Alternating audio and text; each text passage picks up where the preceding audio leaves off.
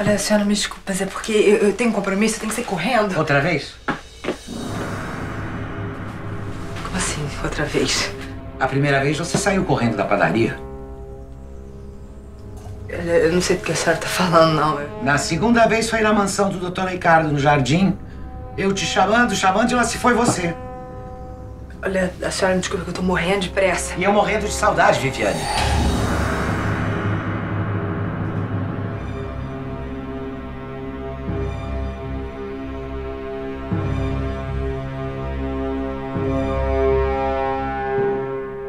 Você nunca acreditou nos meus poderes mesmo, não é, Viviane? Mas como é que você tem coragem de vir à minha casa disfarçada de sei lá o quê e ousar pensar que eu não ia te reconhecer? Não, madame, desculpa, é porque, é eu não podia. Eu sabia, eu sabia que era você. Aquela noite na padaria, na mansão do Dr. Ricardo. A Zenilda ficou me enchendo a paciência, dizendo que eu tava vendo coisas, mas eu sabia, eu sabia que era você. Mas por que, é que você fugiu de mim? Por que, é que você queria me enganar agora? É porque é uma história muito comprida, madame. Me desculpa, mas eu, eu juro, eu juro que eu não queria ofender a senhora. Mas ofendeu? Não confiou na minha amizade? Por acaso você acha que eu acho que você roubou a joalheria? Ou que eu ia te entregar pra polícia? Não, claro que não, madame. Claro que não. É porque aconteceu tanta coisa, sabe? Meu pai fez aquela besteira lá na joalheria, aí ele tá, tá foragido. Quer dizer, na verdade... Na verdade, um bandido, um canalha, pegou ele, né? Que bandido é esse, criatura? Madame, é porque eu não posso contar tudo, sabe? Tem gente envolvida que tá, tá correndo perigo, eu não posso contar. Mas é, eu, eu juro pra senhora que eu queria vir aqui, eu queria conversar com a senhora, mas... Mas eu sei que eu, eu fiquei com medo, entendeu? Medo? Medo de quê? Olha lá, não me ofende, hein? Eu não sou dedo duro. E eu sempre tive muita consideração por você. Eu senti eu disse pra Zenilda, eu senti que você estava precisando de mim. Ah, Zenilda. Quando a Zenilda souber. Não, madame, olha só. A Zenilda não pode saber. Pelo amor de Deus. Oh, é verdade, ninguém pode saber. Ninguém. A senhora já sabe, então, pelo amor de Deus, guarde esse segredo, por favor, por favor. Eu juro. Eu juro que eu não vou te trair. Vitória. Mudou de nome por quê? Eu tive que inventar que eu me chamo Vitória, né? Porque Viviane Ferreira tá sendo procurado pela polícia. Outro dia mesmo, saiu no jornal, uma matéria sobre o roubo na joalheria, saiu foto do meu pai e tudo. Assim, tive que dar graças a Deus que não saiu uma foto minha. É, eu vi. Eu vi. Eu vi a reportagem, eu, eu sabia. Eu sabia que você estava na casa do doutor Ricardo. Mas aquilo, aquilo é uma fortaleza. Eu tentei ligar. Eu ligava, mas eu, eu dizia o seu nome verdadeiro. Aí eles diziam, ah, engano, não tem ninguém com esse nome. Você sofreu muito, né? Tá escrito nos seus olhos. Muito. Relaxa. Eu vou pegar um copo d'água pra você. Mas antes, dá cá um abraço. Ai, meu Deus, eu tava com muita saudade da senhora.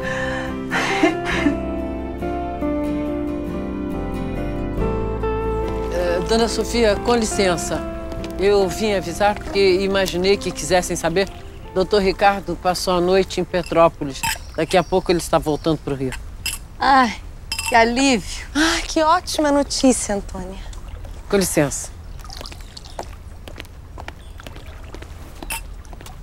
Petrópolis? Que esquisito, Beatrizinha. É, eu também achei. O que, que ele foi fazer lá?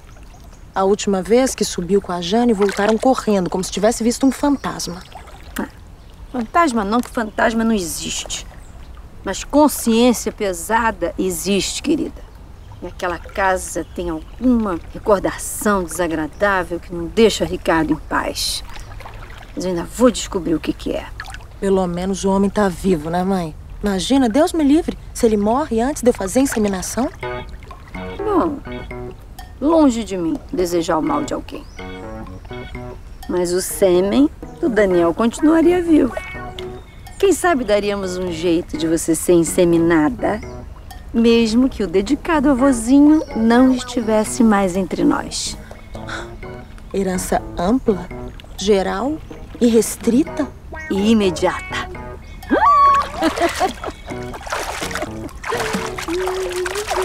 Eu vivo no presente, minha irmã. Não no passado e no futuro, feito você. Cada um com seu dom. Qual é o seu mesmo, hein, Zenilda? Você devia eu ter seguido a carreira que a nossa mãe sonhou para você, a aeromoça. Pelo menos você continuava vivendo nas nuvens, mas ganhava algum dinheiro com isso, né?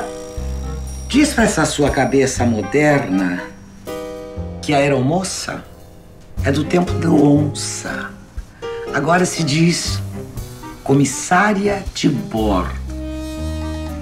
E se me dá licença? Eu preciso pensar. Pensar. Tá bom. Então você continua aí pensando que eu vou pra cama. A gente precisa pelo menos de oito horas de sono para descansar cutis. Palavras de Leninha. Quem sabe eu ganho de brinde um sonho com meu doutor de olhos cor de piscina. Boa noite.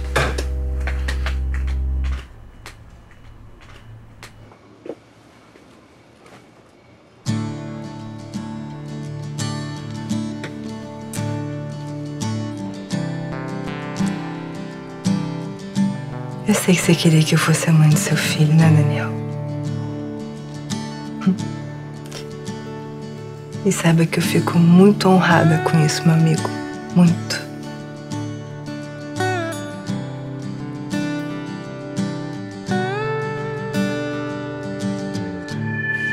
E eu fico feliz que você tenha ficado feliz. Eu fico feliz porque. Porque você mostra que você confia em mim. Que me acha digna. Mesmo. Mesmo sendo pobre, tá toda ferrada, ser procurada pela polícia, né? Eu sei que você é inocente, Viviane.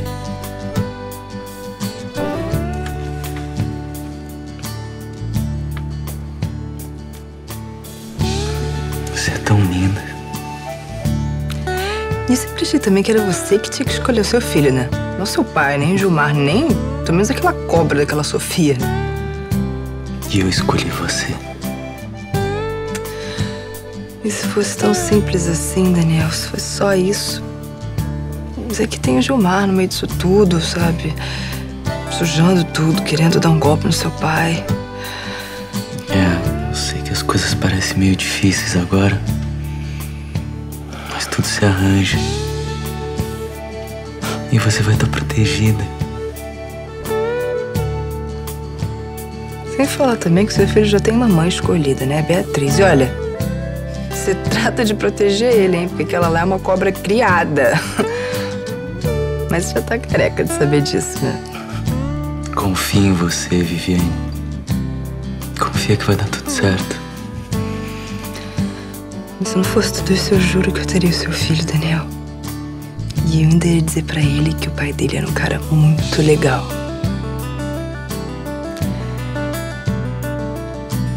Mas eu não posso, Daniel. Desculpa, eu não posso. Não posso ser cúmplice do Gilmar, eu também não posso botar meu pai na cadeia.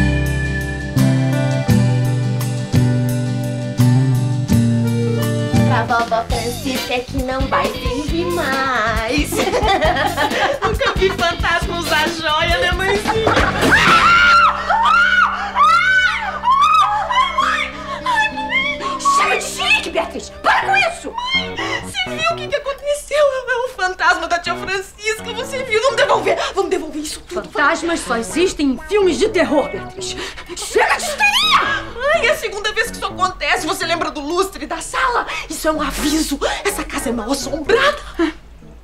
Quando eu acreditar em assombração, eu vou achar que me casei com uma. Olha aqui, olha aqui!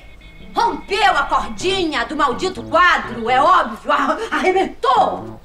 É? Arrebentou mesmo? Ai, ai que susto! Ó, ó, tô tremendo até agora. Só me faltava essa. Depois de tanto esforço, saímos daqui fugidas, corridas, por causa de um fantasma com medo. Ah, Beatriz, francamente, eu não te criei pra ser uma covarde, criei? Claro que não, mãe. Ufa. Pronto. Passou. Mas que foi um sustão, foi, não foi? Mas imagina, se eu vou ficar com medo de, de um quadro. Ainda por cima, nossa, tão mal pintado, credo. E de mau gosto, como tudo nessa casa. E deve ter custado uma fortuna, como tudo nessa casa. Ai, Francisca se achava o máximo. Eu que nem merecia isso tudo. Eu merecia uma chata. Quer saber? Chata. Essa gente que, que olha pros outros assim de cima, sabe? Tanto empáfia tá aí. Morta, enterrada pra sempre. Virou um quadro pendurado na parede.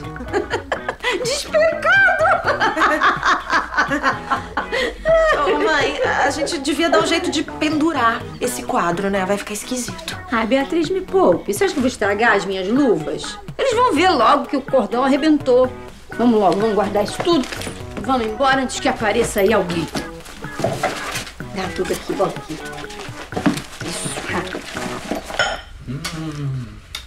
Saíram as duas, tia? Mãe e filha? É, cedinho. Foram as primeiras a tomar o café. Elas foram ver um negócio de um louco. Me parece que foram no hospício que fica no campo. Não é desse, né, Zuma?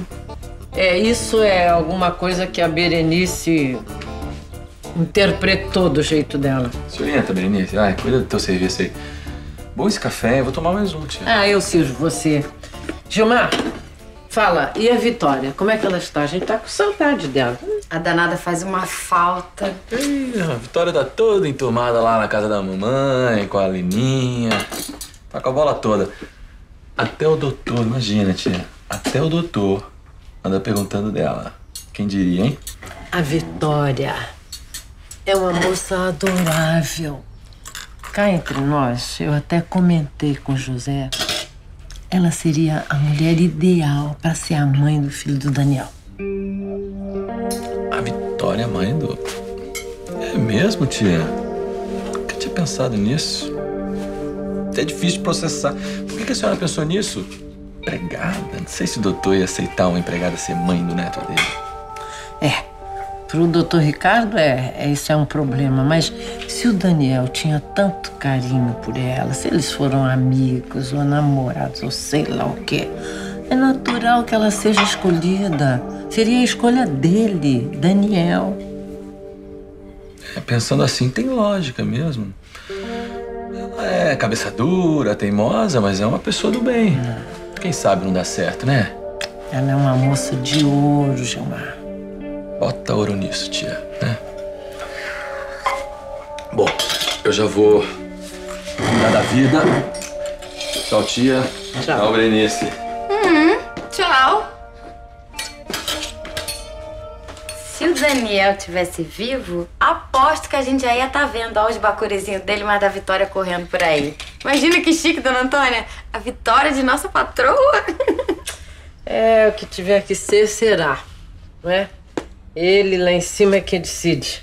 Ele lá em cima quem? O fantasma? A senhora viu ele de novo, o fantasma? Berenice, não tem fantasma nenhum. Eu estou falando dele, de Deus, Nosso Senhor. Ai, mãe. É ele quem decide a vida da gente. Isso é.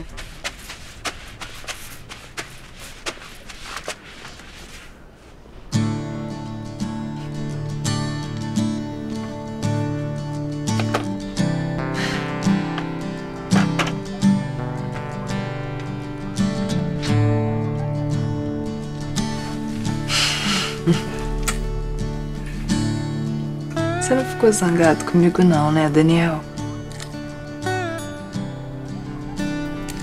Aqui, a flor que você me deu ainda tá cheia de vida. Meu Deus do céu, quem que será? Uma hora dessa.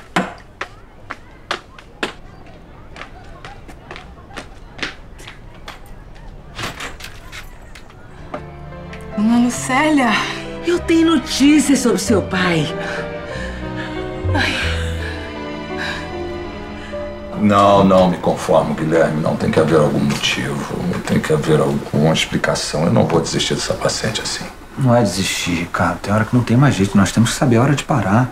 Nós já fizemos quatro inseminações bem-sucedidas e ela perdeu os quatro bebês. E você me garante que os estudos genéticos e a endometriose estão descartados? 100% descartados. Nós não contém pólipos uterinos, não apresenta aderências. Eu já refiz os exames mais de três vezes. Desculpe, doutor. É, o senhor pediu pra eu levar o carro pra fazer a vistoria? Sim, sim, mas já falo com você sobre esse assunto. Guarde lá fora, por favor. Olha, ô, Ricardo. Eu, eu, eu temo pela saúde da nossa paciente. Eu acho que é muito sacrifício, tanto físico quanto psicológico. A Virginia acha que nós devemos convencê-la a desistir. Não, eu não vou desistir. Eu acho que nós estamos deixando escapar algum detalhe, Guilherme. Os exames estão todos aqui? Todos, inclusive os últimos. Tá tudo aí já também computadorizado. Vamos ver de novo, um por um? Vamos, vamos, claro.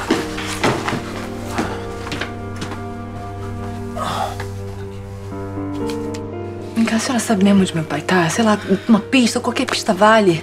Olha, pelo que eu entendi, quem sabe de alguma coisa é a Silmara. É aquela que faz croquete pra fora. Sei. Você sabe que ela sempre foi enrabixada pelo teu pai, né? A Silmara? Ter que falar com ela, né? Só acontece que eu não posso mais aparecer na comunidade, né? Senão o, Zé da Grota me esfola, né? Na verdade, não. Esfola não, me mata, porque esfolar ele já esfolou. Vem cá, você consegue marcar um, um encontro com a Silmara pra mim? Ela não vai. Essa gente tem medo que se pela da polícia e você tá procurada, filha. Olha, desde que eu falo com ela, eu vou tentar descobrir mais alguma coisa. Eu preciso achar logo meu pai, dona Lucélia, pelo amor de Deus. Ele tá sendo vigiado por um cara aí, um, um cara que tá me chantageando. É que não posso falar pra senhora direito, tá? Olha, mas tem mais uma coisa, viu? Eu tenho uma notícia que não é muito boa. E eu nem sei se é verdade. Mas diz que o Jofre não tá muito bem de saúde, não. É verdade, sim. Mas isso eu já sabia, já estava passando mal desde que a gente morava junto. Fica tranquila, filha. Tenha fé em Deus. Olha. Esse é o número do celular que eu ganhei lá no mutirão. Eu vou descobrir mais alguma coisa, vou dar um jeito. Me liga amanhã. Ligo sim, pode deixar. Ai, A dona Lucélia, a senhora me ajudando assim de graça, me dá, dá até um nó na garganta. Minha filha, a gente não esquece quem estende a mão na hora que a gente tá precisado, Viviane. A vida é essa troca, filha. Fica com Deus, tá? Eu já vou indo. A senhora caiu do céu. Caiu mesmo. Vem cá, me deixa água aqui. Vamos lá que eu te levo no ponto de ônibus? Assim a gente conversa mais um pouquinho, né? Vambora. Prometo que da próxima vez vai ser mais perto. Tá, obrigada. mais perto da comunidade.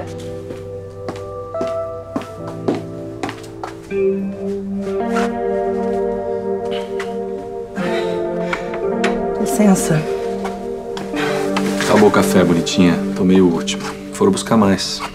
Tem água, quer água? Dá licença.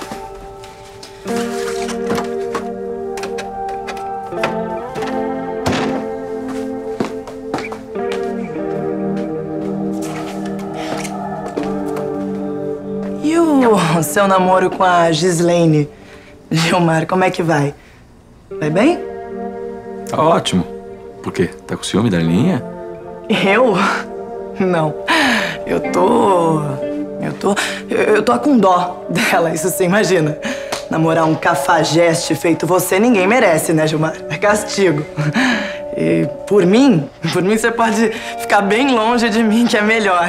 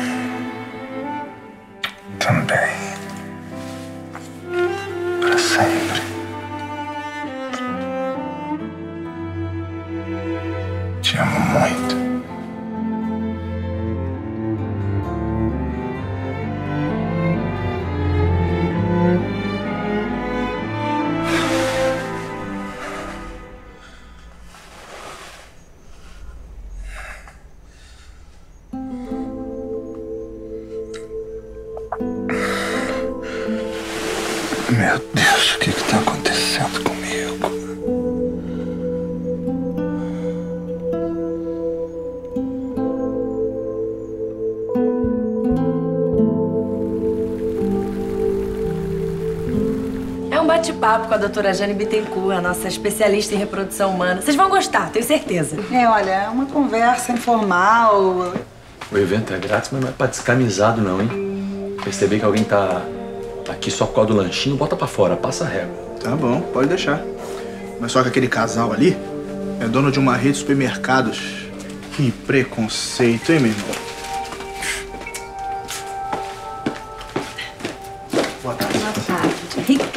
Ricardo. Parabéns. Que coisa boa esse evento para homenagear as future mamães. Sempre acontece. É, Eu já me sinto homenageada. Amanhã é o meu procedimento, né? Como vocês dizem, mas pra mim é o começo de uma nova vida. Ai, eu tô tão feliz. Que bom, que bom, que bom. Dessa vez vai dar tudo certo. Ah, vai. Ai, mãe, vamos, vamos. Eu quero pegar um lugar na frente que eu quero aprender tudo sobre como cuidar de bebês. Vamos, com licença, Ricardo. Pera, Beatriz. Mariana. Sim. E sobre aquele seu primo que vinha fazer a entrevista pra vaga do almoxarifado? Vem ou não vem? Ah, ele vem sim, doutor. Muito obrigada, viu?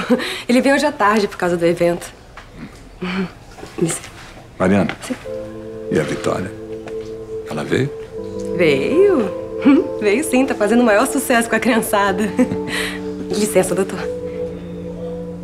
Era uma vez uma girafa muito louca. E a girafa, ela um dia resolveu ficar de cabeça pra baixo. e ela ficava louca dançando, que nem uma maluca.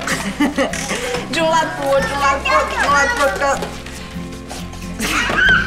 Desculpa, doutor, não, não vi que você tava aí. Ah, tudo bem, eu só tava vendo se estão todos bem, se as crianças estão bem. Tá? Não, tá tudo bem. Parece que tá meio bagunçado, mas, mas é, é- tá arrumado. É assim mesmo, é coisa de criança. É assim mesmo. É. E você? É tá? Já conseguiu outro emprego? Não, não, mas eu, eu vou arranjar assim. Mas eu tô bem, tô bem. Obrigada. Eu tava procurando o senhor, não imaginava que o senhor estivesse aqui. É impressionante como a Vitória é jeitosa com criança, né? O que você quer, Gilmar? Tem problema? Não, não, problema nenhum. É, eu queria saber se posso tirar a tarde de folga, eu tenho um problema pra resolver. Você já tirou a tarde toda ontem. Preciso de você aqui hoje o dia todo. Vê se ajuda aí com as crianças. Ah, claro. Adoro, adoro criança. It's... Oh, ei, dá aqui, ó. Ai, coisa mais fofa. Ah. Ah. Ei, Que, que é isso? Que que é isso aqui, ó? Aqui, aqui, ó! Você tá fazendo xixi aqui, ó? Que isso? Daqui a pouco seca, Gilmar.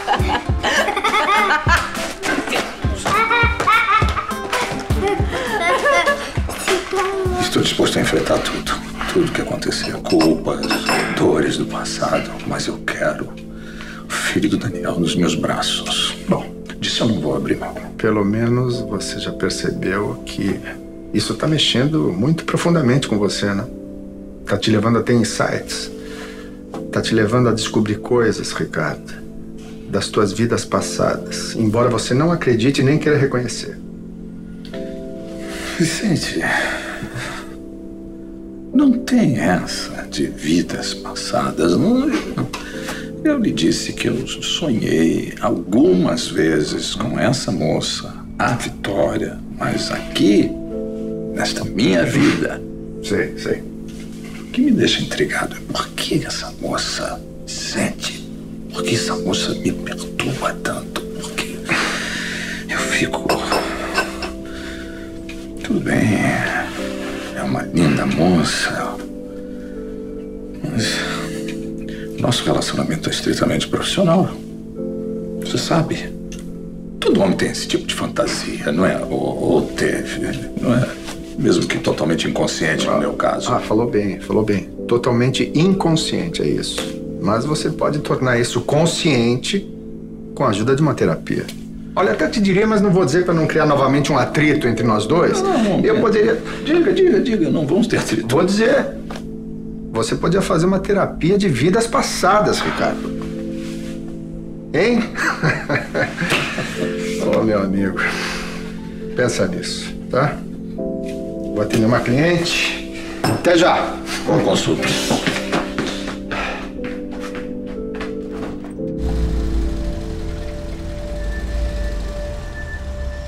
Daqui é melhor a gente ir a pé pra não chamar muita atenção. Mas vem cá, mas a senhora aguenta, madame? Eu posso ir sozinha. Poxa, eu vou deixar vocês sozinhos? Uma dessas? Como diria a Zenilda, força na peruca. Vamos lá.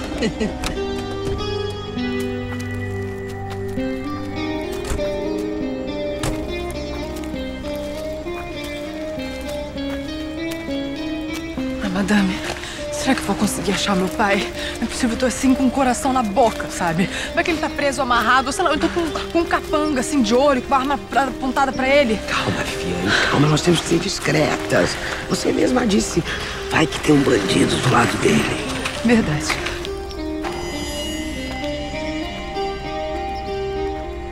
Calor desgraçado. Eu espero que seja um bom motivo, Viviane. Um motivo que eu tô esperando. Que me fazer passar por isso. Eu juro que dessa vez eu te entrego pra polícia, desgraçada. Madame, madame, acho que eu achei ali, ó. Madame, só pode ser ali, olha lá.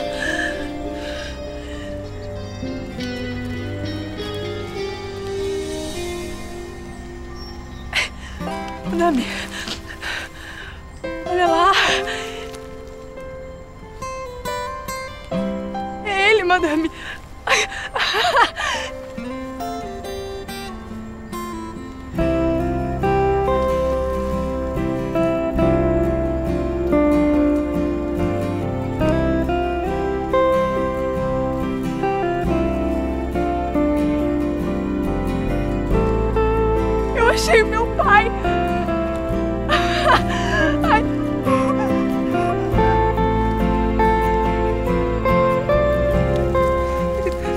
madame, graças a Deus.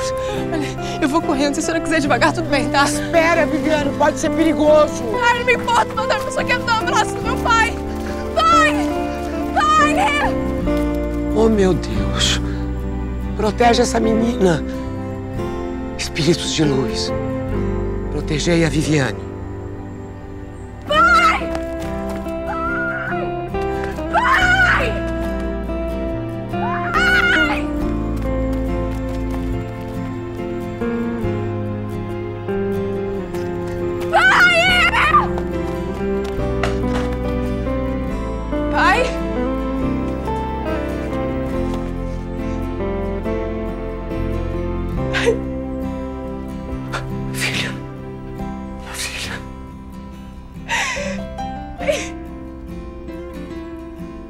Viviane, minha filha.